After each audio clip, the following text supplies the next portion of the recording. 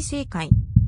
Rebirth of the Malicious Empress of Military Lineage, Chapter 184 Betrothal Gifts. These few days the Shen family was caught in a very strange mood because of Shen Miao's bestowed marriage. Everyone seemed to be clouded with anxiety, even though everyone was trying to express joy, but one could not hide the bleakness of it at the end. Shin Xin and Lu Yan would leave early and return home late daily. most likely they were searching of ways to get this marriage rescinded but they returned without success. Upon some thought it was as so, since Emperor Wenhua had concealed from the entire court of officials to write this decree, most likely it was to sever Shen Xin's intention of refusing. A monarch's words were not of a joking matter and words spoken were like water that was splashed. In the previous dynasty there was a princess who fancied as Zhuang Yuan, top scorer in the imperial examinations, but that Zhuang Yuan already had a wife but it was because of the phrase of monarch's words were not of a joking matter that he divorced his wife and married another. Every time when Shen Kaiyu saw Shen Miao,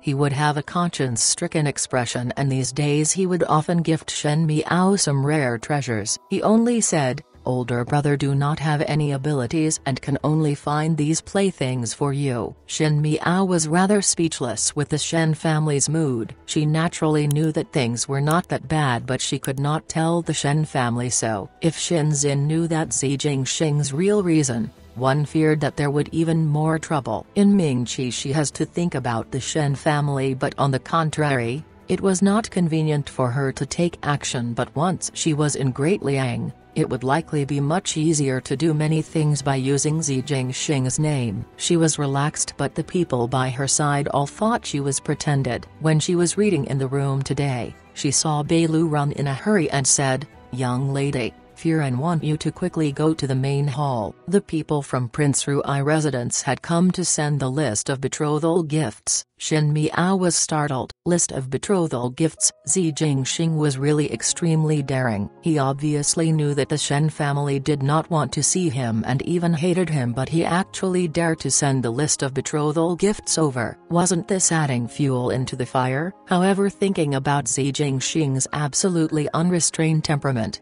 this was indeed something he could do. Upon reaching the main hall, one could see from afar that Lu Yan was holding a long thing and beside Lu Yan, Shen Kaiyu and Shen Xin was standing as they stretched their heads over. Lu Tan pursed her lips while Lu Ling's gaze became complicated. In short, everyone's was behaving very strangely. When Shen Miao stepped into the room, she only then found out that other than the Shen family, there was someone else standing in the room. After looking clearly at that person's appearance, Shen Miao almost choked. Shen Miao had seen this middle-aged man that had a big beard before, he seemed to be a guard that was always following Xi Jingxing and Kong Yang would call him Tai Yi. From a glance, one could tell that he was a brave person with martial arts but today he deliberately wore a red robe and on it, there were gold-embroidered peaches and clouds. Most likely it was bring out the cheerful atmosphere but Tai Yi's complexion was dark so by wearing this attire,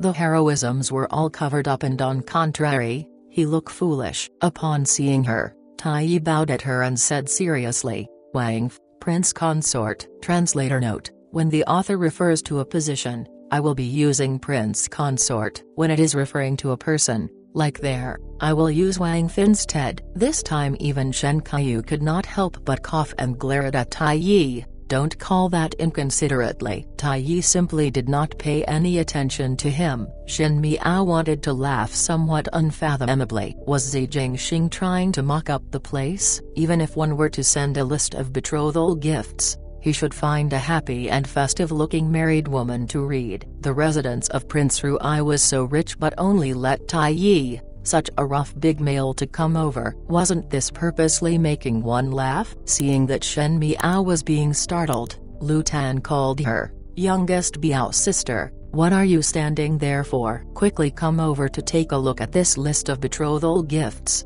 She looked surreptitiously at Shen Miao seemingly very excited with it. Shen Miao walked over. The list of betrothal was exquisitely done. It was made from scented wood, sprinkled with gold dust and there was an emerald cat eye on the front. making it very valuable. Just this list itself was already expensive. Even though Shen Xin and wife were not vain people, Prince Ruai doing so would express the value of Shen Miao to him and their expression became better. Lu Zuyan handed the list of betrothal gifts to Tai Yi and said, read it. In Mingqi customs, the list of betrothal gifts would be sung by the male side. The longer it was sung, the generous the betrothal gifts were and the more honorable the female side would be. Tai Yi was obviously not accustomed to do such a thing so he flipped to the first page and sang dryly, one yellow daylily, crabapple flower and begonia bed, one blackwood three-screen panel arhat bed, one set of yellow daylily pair wardrobe, bookcase and display shelving, one pair of black-eyed bin vases, one pair of conch inlay yellow daylily pair desk, one speckled conch yellow daylily pair money chest, one pair. The first page consisted of furniture which made everyone who heard it dumbstruck. Even if one were to put these many things in the current Shen mansion, it would not be enough. It was enough to place in three mansions. The second page was display items and one only heard Tai Yi singing. 1 incense aloe wood ruai, 1 mountain peak jade ruai, 1 tin paper lamp, 1 gold gilded table clock 1 silver pocket watch, 1 green jade bamboo bonsai, 1 gold gilded hexagonal pot of plum blossom bonsai, 1 3-colored 18C scented serving plate, 1 colored dust jar for tea leaves, 1 barrel of pure privet wine, bamboo and plum blossoms folding screen. Lu Zuyan and Shen Xin also raised their eyebrows, this Prince Ruai's list of betrothal gifts is rather generous. However there was no time to be surprised as Tai Yi had continued to sing. The third page was daily necessities,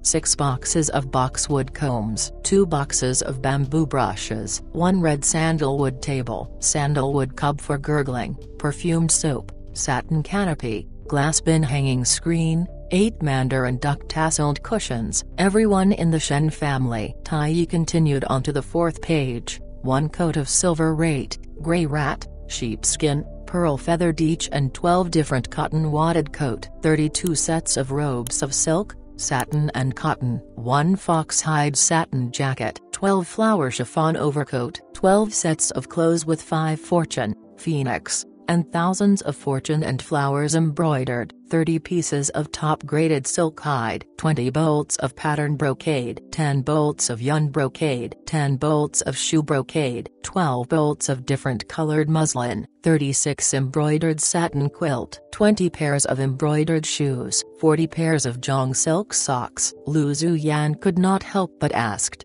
this, this young brother, could it be that you have taken the wrong list of betrothal gifts? This, this is not right. How was this marrying a wife? This was like for a princess instead. One feared that even a princess would not be that detailed. Tai Yi spoke expressionlessly, it cannot be. There is only one list of betrothal gifts in the residence of Prince Ruai. May Furin continue listening. He started singing the fifth page of the list of betrothal gifts. One tray of coral, gold leaves, scented agarwood prayer beads, 4 pieces of different types of green jade each, 4 pieces of different type of white jade, 2 pieces of different crystal accessories each, strings of pears, jadeite, coral. The sixth page he sang was on antique, calligraphy and paintings four pairs of Zijin porcelain bottles, one pair of spring ballast vase, one pair of Chenhua ware bottle, one blue glazed white plum blossom bottle. The seventh page that he sang was all on the works of the four scholarly arts. The eighth page that he sang was for servants and exclusive guards. The ninth page was on horses and carriages. The tenth page, everyone in the Shen family. The more Tai Yi sang,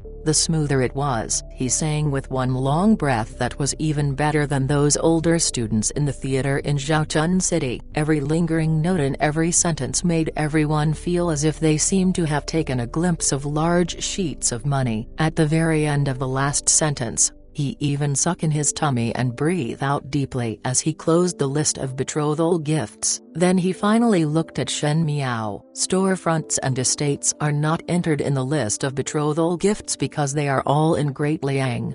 Tai Yi smiled sincerely, His Highness has converted all of them to gold, which amount to 10,000 jin of gold. 1 jin equals 500 grams. 10,000 jin of gold. Lu Tan could almost pass out. Tai Yi continued speaking. The mansions between the residence of Prince Ruai to the Shen mansion were bought and will be included in it. Later on there will be someone who will send the title deeds over.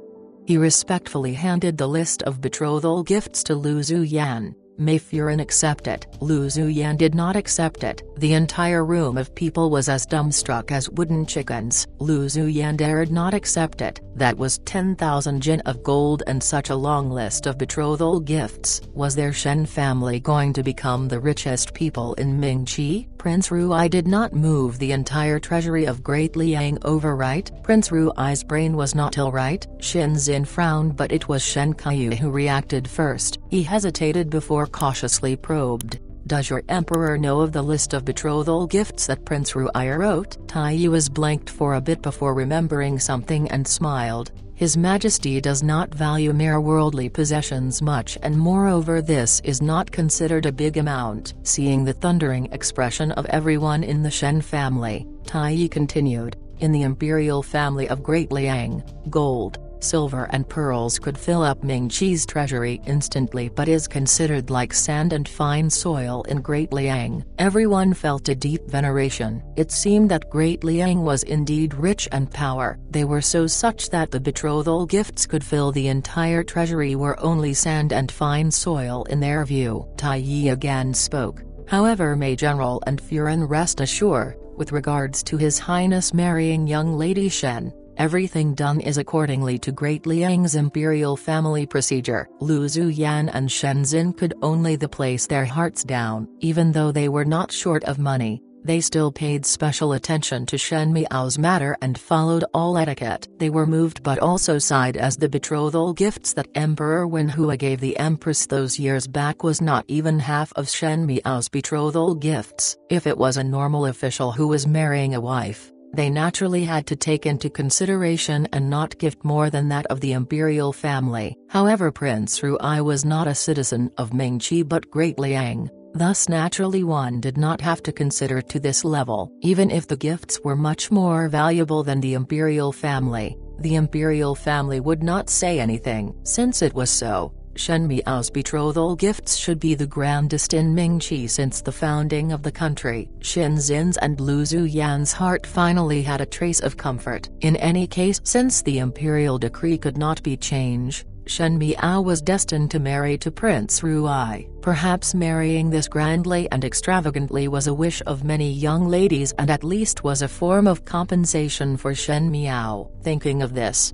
the ill will that they had of Prince Ruai had dissipated a lot that they have more amiable attitude towards this big bearded man. Lu Zuyan asked, however why was the age card not sent over? Before getting married, one had to match all eight characters of birth. However because Shen Miao's marriage was special as it was bestowed directly by Emperor Wenhua, this step was skipped. Tai Yi said, his Highness had already matched young Lady Shen's eight characters and it is a couple that is made in heavens, one that have been in the making for 500 years. Since Furin request for the age card, one will bring His Highness's age card over. The other party's attitude was filled with sincerity that one was unable to find anything wrong with it. Lu Tan could not help but asked, when will the wedding be held? There was no indication of when it will be on in the imperial decree. Tai Yi smiled, the marriage request memorandum has been completed. His Highness will be returning to Great Liang after the end of the year so on the day of the return to Great Liang,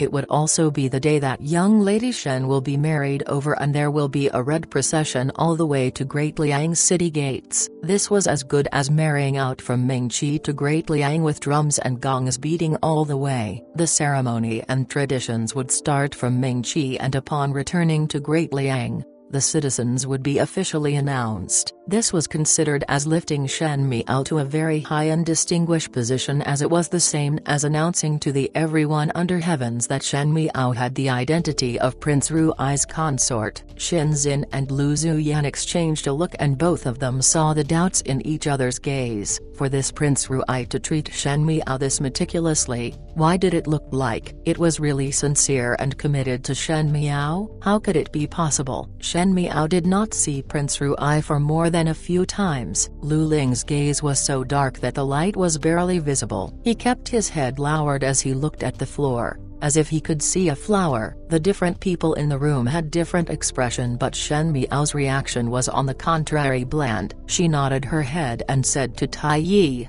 many thanks. After Tai Yi left, Everyone looked at each other. Zin and Lu Zuyan had discovered some abnormalities. If Prince Rui's goal was to incite disharmony between the Shen family and the imperial family of Mingqi or make the Shen family unusable by the imperial family of Mingqi, then when the imperial decree was handed out, Prince Rui had already accomplished his motive. Since he had already achieved his goal then the other matters were no longer important. So why did he have to make a big deal out of this and even if one had so much money, there was no need to do this unless Great Liang's treasury was too small and could not contain any more money and brought it to Mingqi and gift them with both hands to the Shen family for dowry. Wasn't this doing unnecessarily more? It was Shen Kaiyu that noticed this point and said angrily, Isn't Prince Rui like a weasel going to pay its respect to the hen, sure to be ill-intended, by sending so many things? Does he think that our Shen family is greedy for wealth? We are marrying a young lady off and not selling a young lady. With so much money,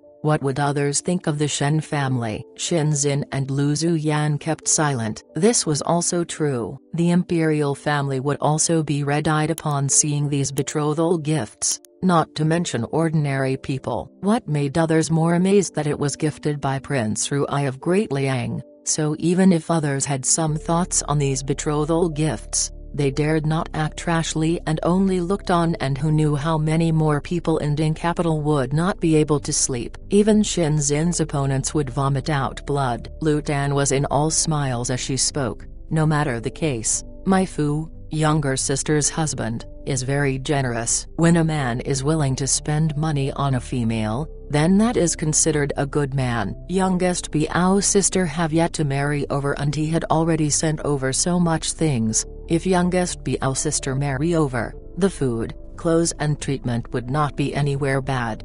Lu Tan's words had always been straightforward and direct and she did not know how to cover things up. It was just that the Mai Fu words was painful to the listener. Shen Xin covered his head, where can all these things be placed? That's right, Lu Zuyan started to get worried, there is not enough space in our mansion to put all these things. Just the storeroom itself would not be able to continue all the antiques and there are still furniture and textiles. One even have to build a granary in the residence to put all of it. Shen Miao wanted to laugh out when she heard it but said, didn't he bought all those mansions? After leaving, all those mansions are the Shen family's. Just buy some guards and place all the things in, or one could simply stay in the residence of Prince Rui. Xin shook his head, Yan Qinglan is not a place that we can live at.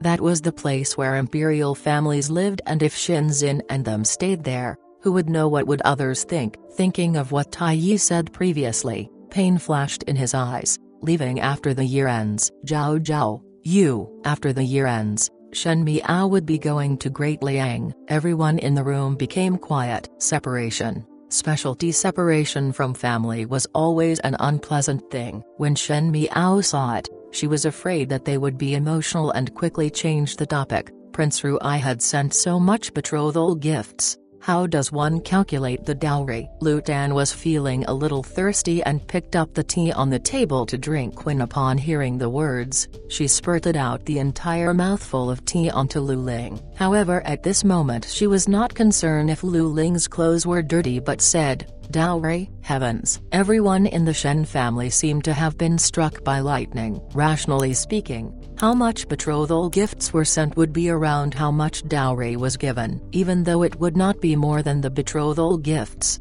but it would not be much lesser than it. Else when the young female entered the husband family, she would be suppressed by others. If the dowry was substantial that was even more than the betrothal gifts then she would be well regarded after marrying over. Thus the more favored a young lady was marrying over, the closer the betrothal and dowry would be. There was no need to say that Shen Shenzhen doted his daughter but this dowry. Prince Rui gave the Shen residents so much betrothal gifts and if one had to give a close amount of dowry then even if the entire treasure of Mingqi was emptied, it would still not be enough. Prince Ruai had gave the Shen family a difficult problem. In the night, Shen Miao sat under the light and remembered during the daytime when Tai Yi held the long long list of betrothal gifts and sang, she could not help but wanted to laugh. Zi Jingxing was being too unruly. He actually wrote so much betrothal gifts down. Shen Miao held her forehead. If someone else saw this list of betrothal gifts, one feared that the Shen family would be envied by everyone in Mingqi. However at the end this list would definitely be known by others.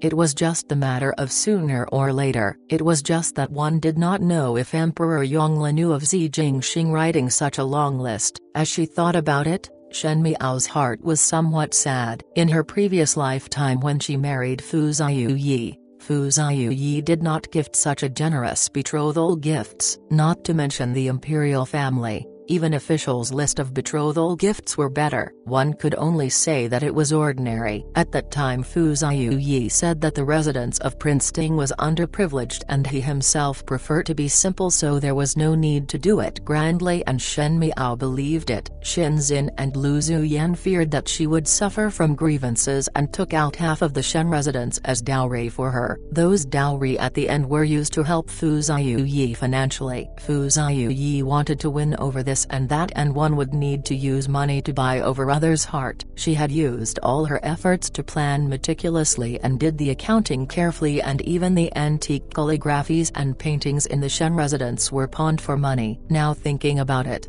after marrying to Fu Ziyu for so many years, it had always been her paying with the Shen family and Fu Ziyu had never reciprocated. Although in the matter of emotions, Everything was done willingly and reciprocation was not required but as time passed, one's heart would turn cold. It was especially so after ascending to the throne, when Fu Ziyu treated Mai Furin and Fu Sheng generously, it was like a harsh slap to her face. Now that she was marrying to Zi Jingxing, she could not tell clearly how she was feeling in her heart. She was moved but it was not like as hot as per her previous lifetime but Zi Jingxing had gave her more than she had imagined. It even made one somewhat look forward to this wedding. The window was knocked twice by someone and Shen Miao looked up and saw Kong Yang outside before she opened the windows. When Kong Yang saw her, he first greet her, young madam, Master instructed this subordinate to bring you over. Shen Miao was stunned but in a flash she nodded her head straightforwardly, alright.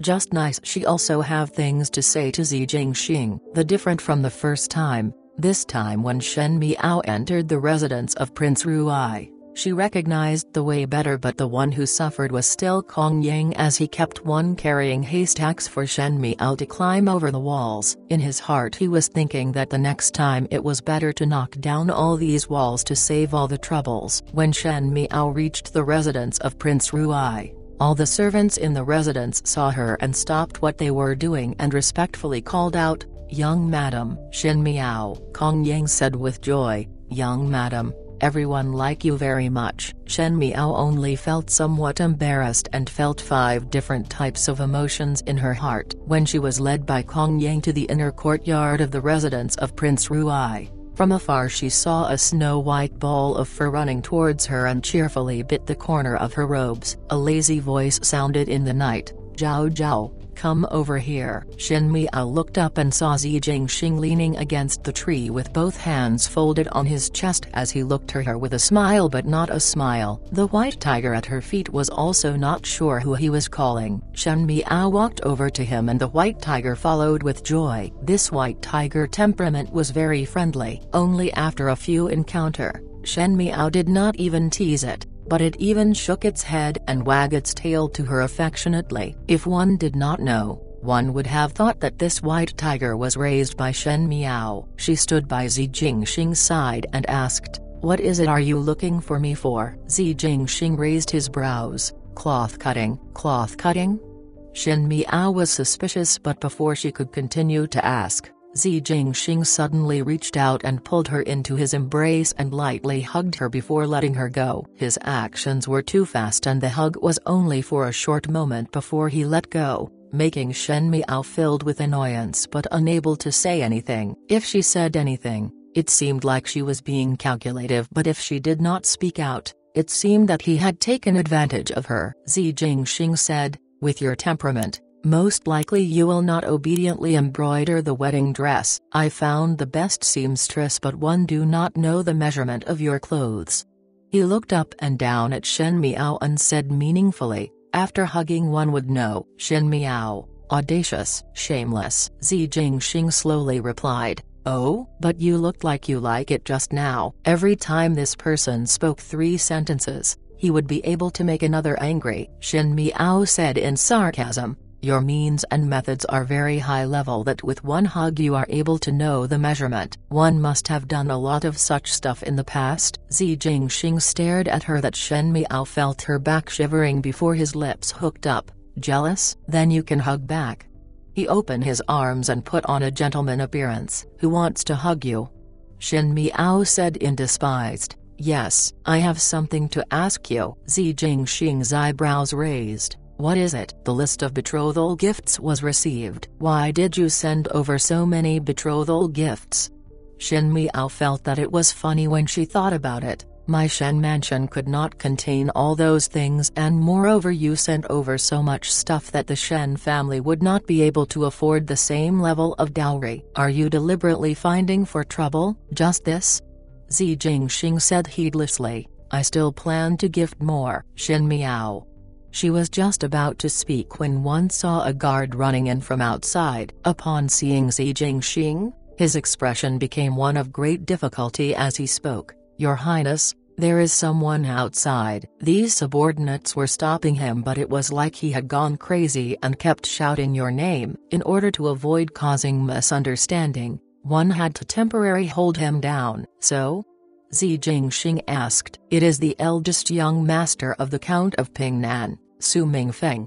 The guard said. Shen Miao's head suddenly went up. At this moment in the front hall of Prince Ruai residence, there was a young man that was tied up and his body was tied up as though it was like a scorpion and there was a piece of rag in his mouth as he glared angrily at the guards by the side and still struggled in vain. That person was Su Mingfeng. Su Mingfeng had instructed people to monitor the residence of Prince Ruai for a long time and also monitored the Shen mansion and princess residence. However the longer the monitoring went, the deeper the suspicion was in Su Mingfeng's heart. He suspected that Prince Ruai was that dead Zi Jingxing and even though this kind of conjecture was outrageous and ridiculous, as time went by, not only did the thought not disappear, it became even more profound. Zi Jingxing and Shen Miao had some relations and now Shen Miao was bestowed marriage to Prince Ruai. If Zi Jingxing was Prince Ruai then everything could be explained. Su Mingfeng had an attachment to Zi Jingxing's matter that could not be understood by others. After all this was a childhood playmate that he grew up with. He had learned a lot of things from Zi Jingxing and the importance of Zi Jingxing could be said that he impacted his entire life. No matter if Zi Jingxing was or was not Prince Ruai,